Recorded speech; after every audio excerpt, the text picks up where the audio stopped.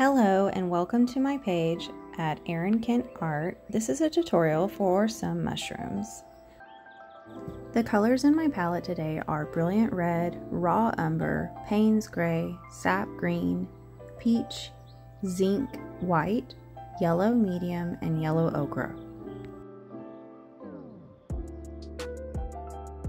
We'll begin painting the mushroom tops with Brilliant Red.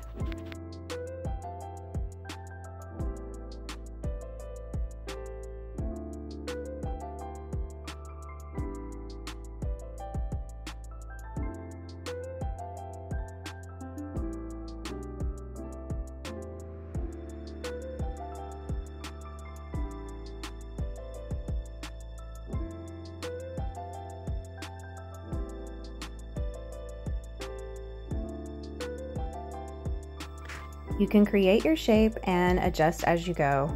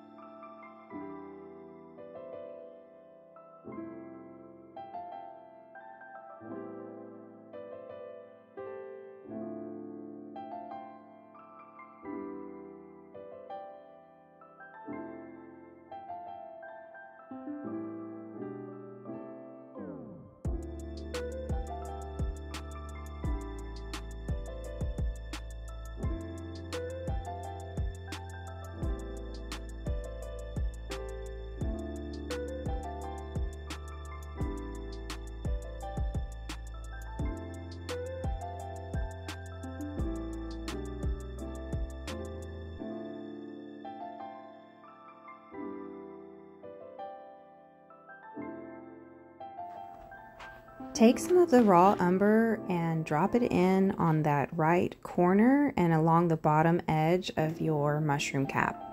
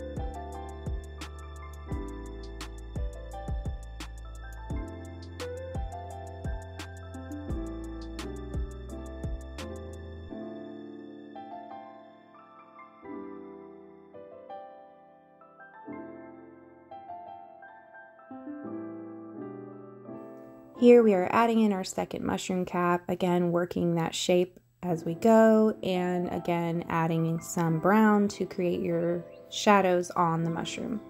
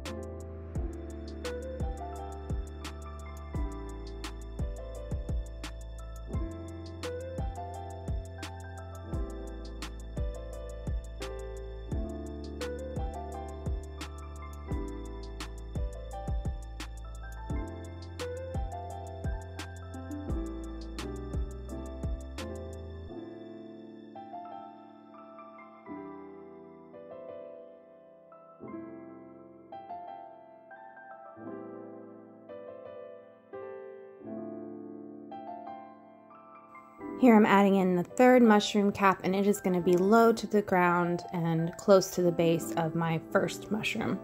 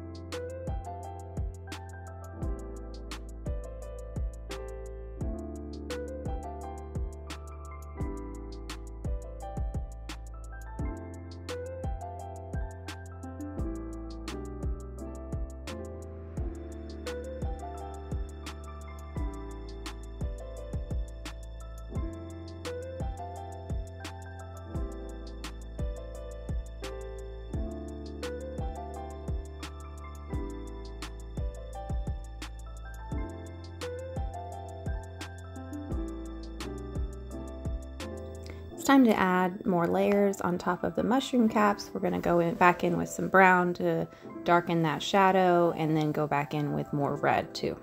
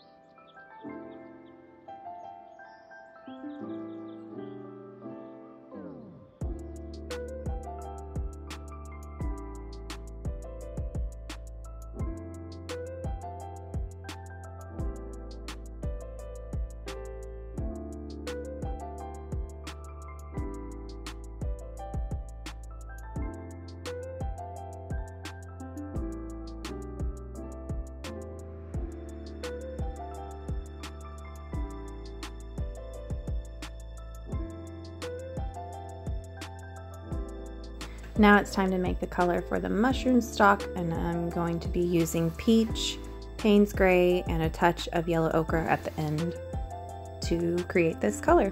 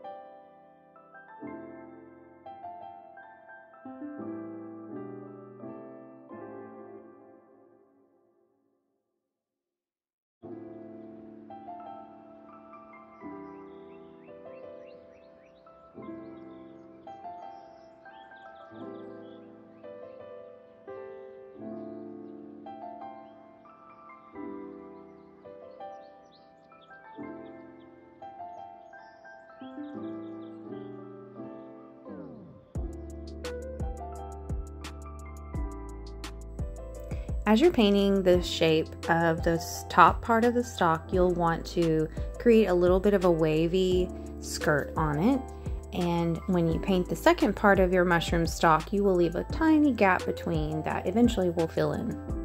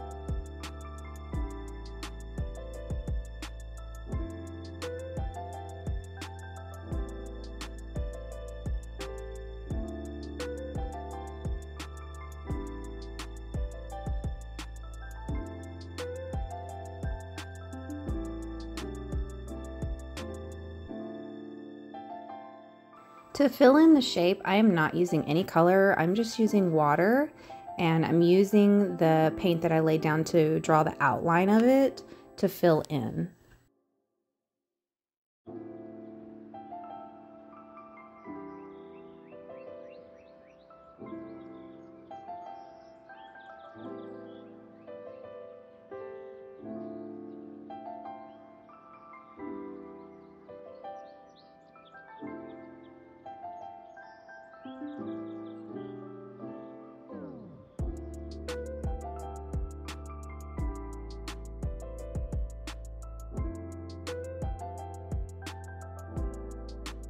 Now you can start adding in some more color to shade and darken where you'll have some shadows.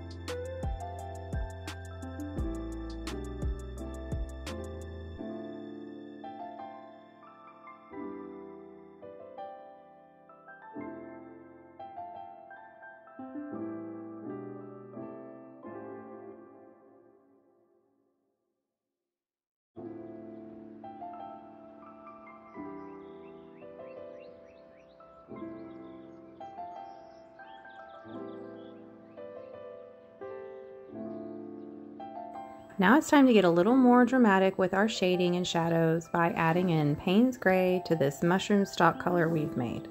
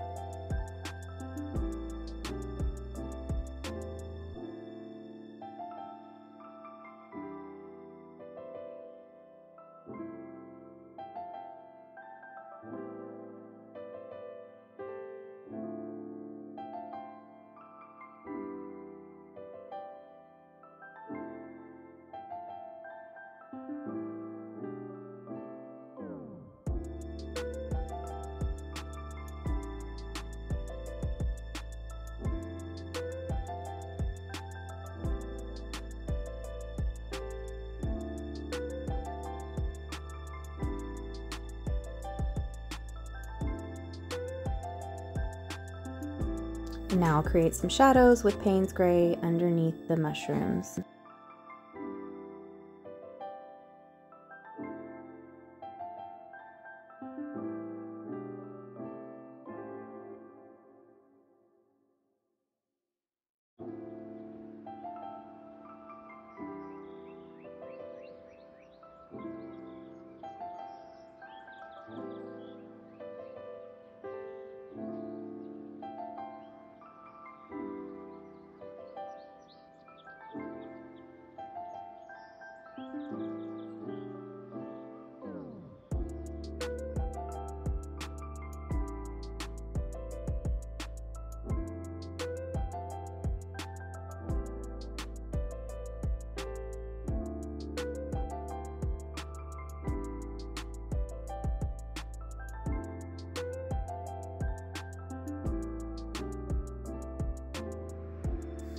Next it's time to work on our snail shell color. So we're gonna take some yellow ochre and some of the brown, the raw umber, and mix those together.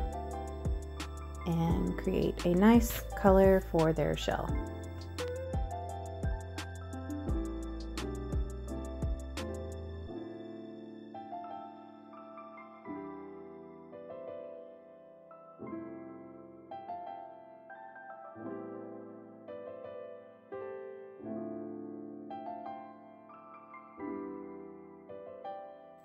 You might not be able to see what I'm doing, and so I'll explain. I'm creating a small spiral shape that I will turn into my snail shell.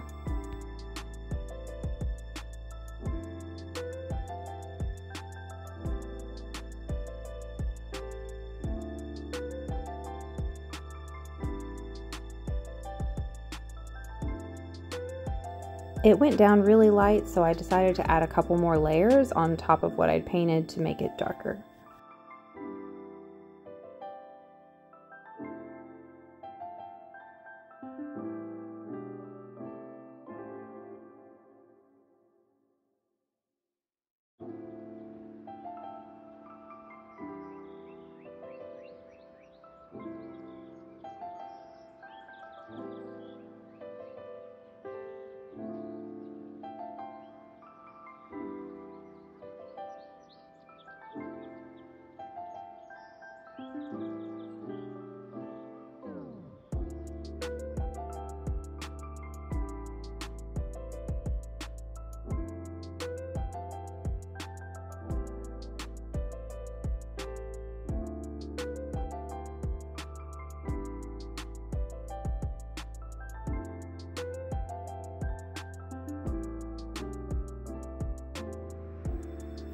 Ready to create the color for my snails.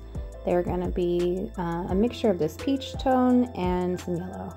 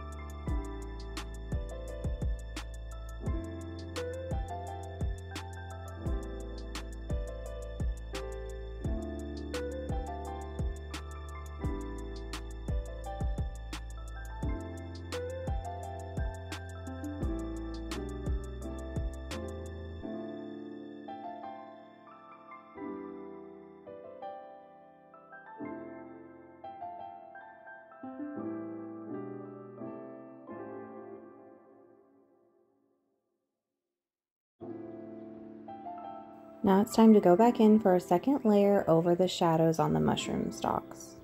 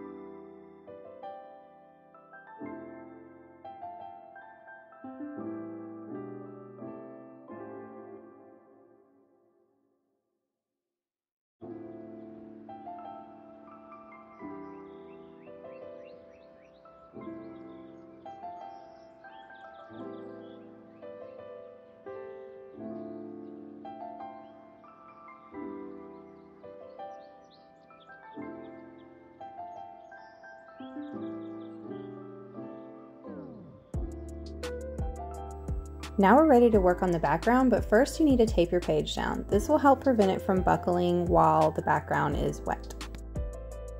As we are working this background, we're going to start with a wet surface and then build on drier layers as we go.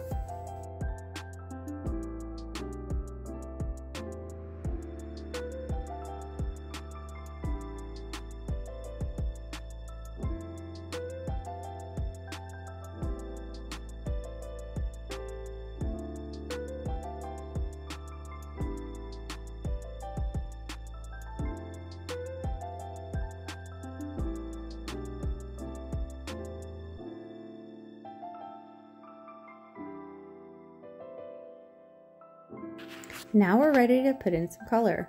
We'll use our flat brush to create some strokes that look like grass in the background.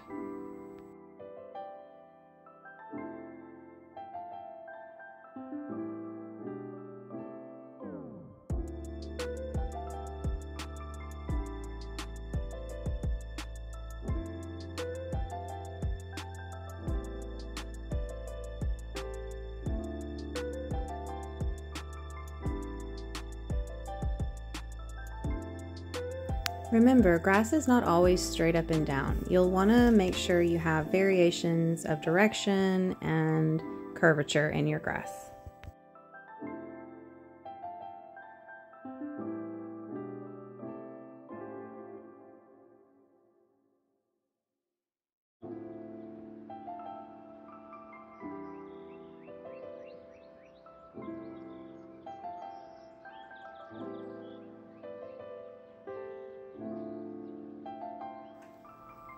You'll want to start adding in different colors like some yellow. You can create different shades of green by mixing in Payne's gray or brown or even red and brown. You can get a lot of different variations in your background if you want. I'm mostly sticking to shades of green and yellow.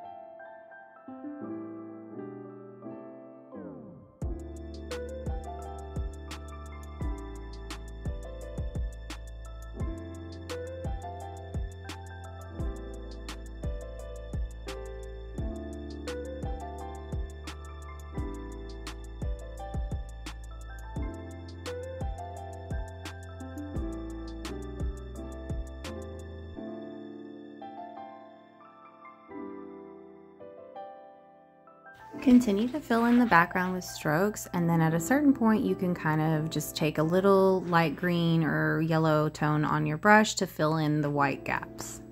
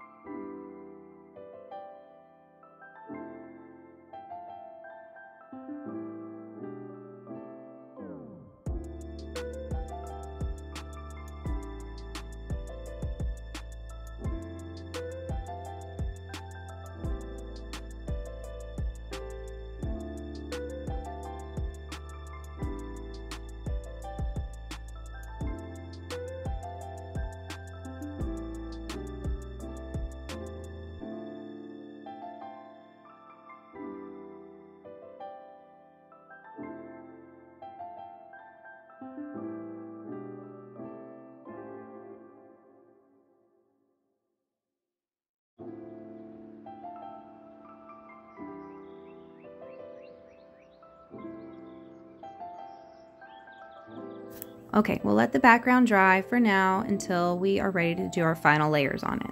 Let's move on to the moss underneath the mushrooms.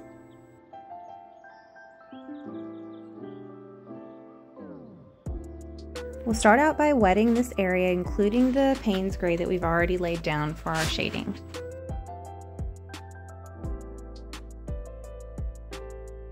Once fully wet, start tapping in your green.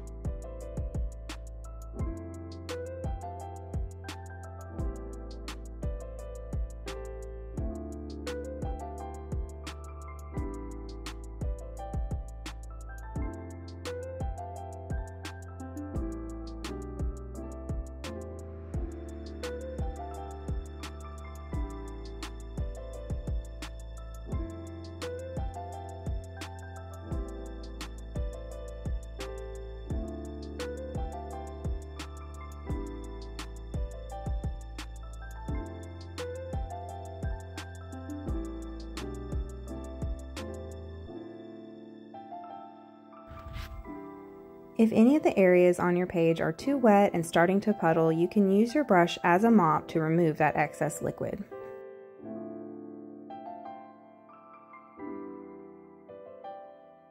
I'm going to add in some darker layers by using brown and a mixture of green to create different strokes in the background.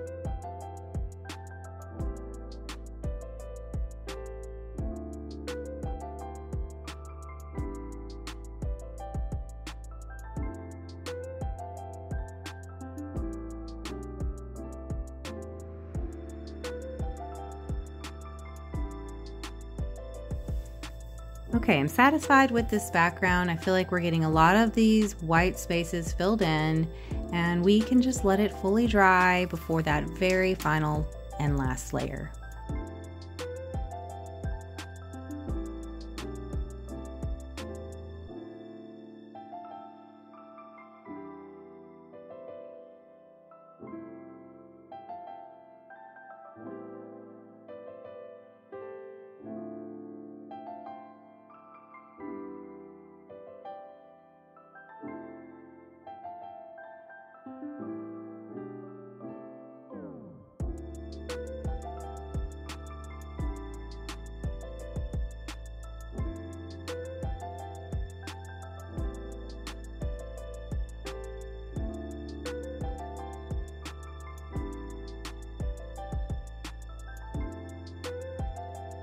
Here I'm going in with an extra layer on top of the snail bodies.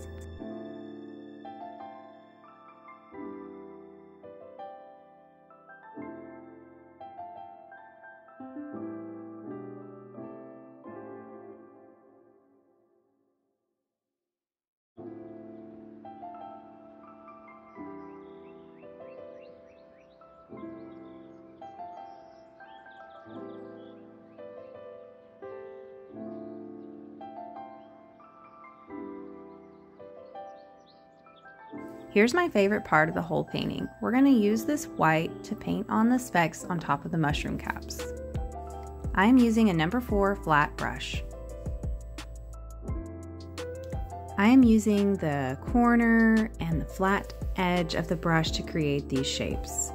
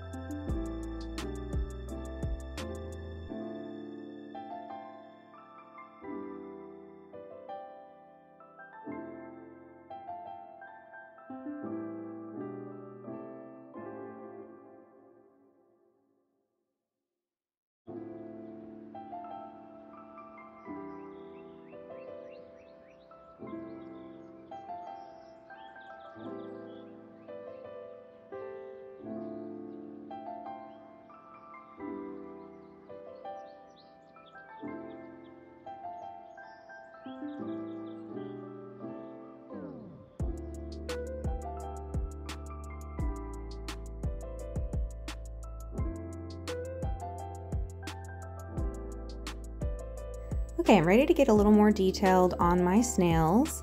By doing that, I'm going to take the yellow and I'm going to fill in the white gaps that we left in that spiral on their shell. And I'm going to also take a brown on the tip of my number six round brush to create a little shadow underneath their bodies.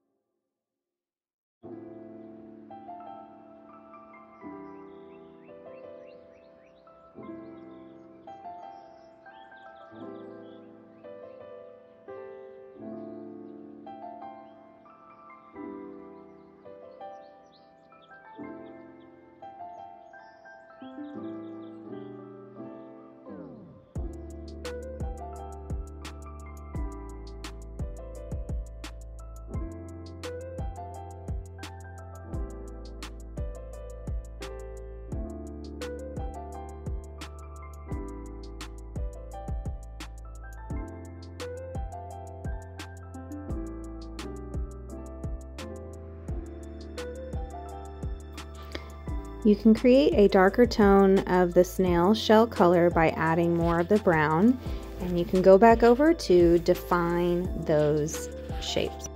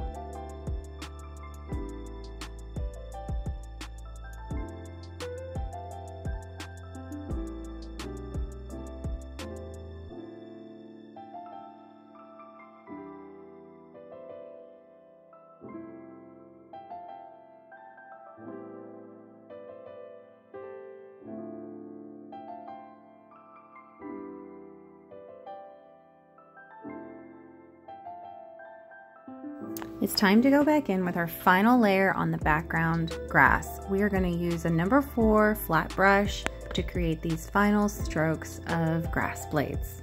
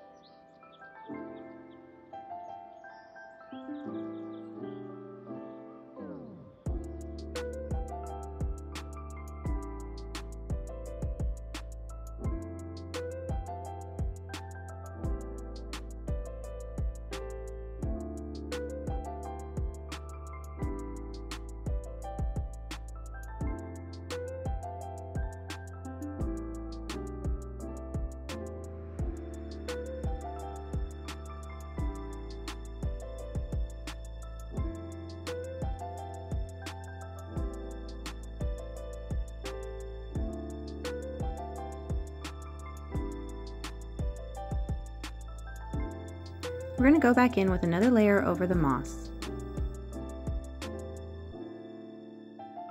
I'll be adding in more of the green, Payne's gray, and yellow.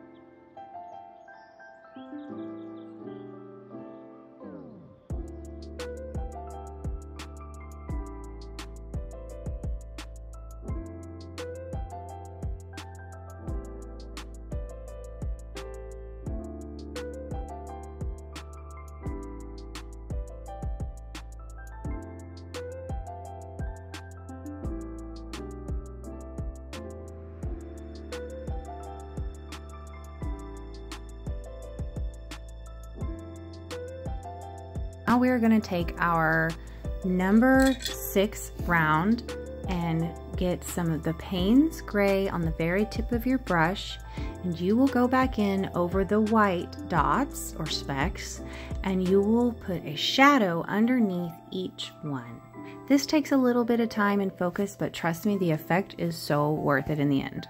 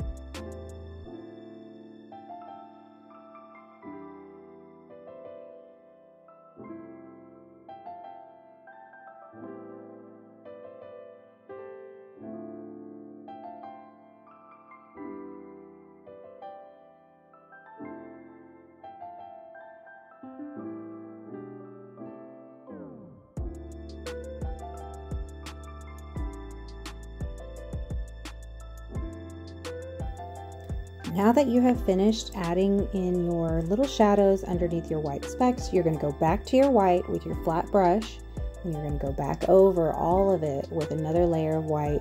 And you can blend in a little bit of the gray to the white.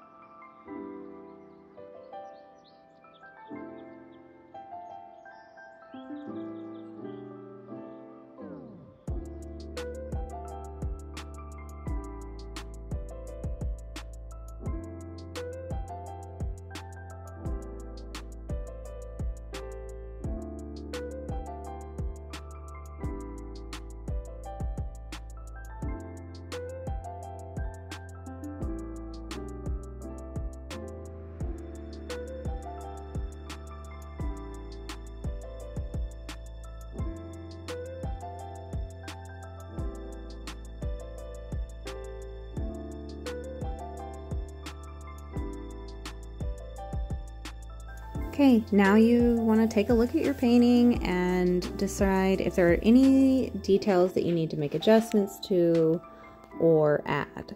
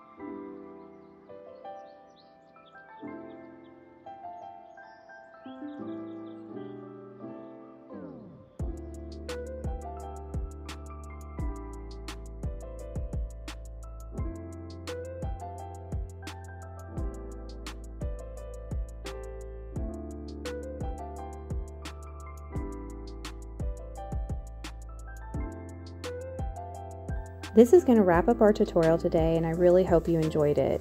If you'd like to see more tutorials like this, please follow me at Erin Kent Art here on YouTube. You can also find me on all social media sites under the same handle, and you can visit my website, erinkentart.com.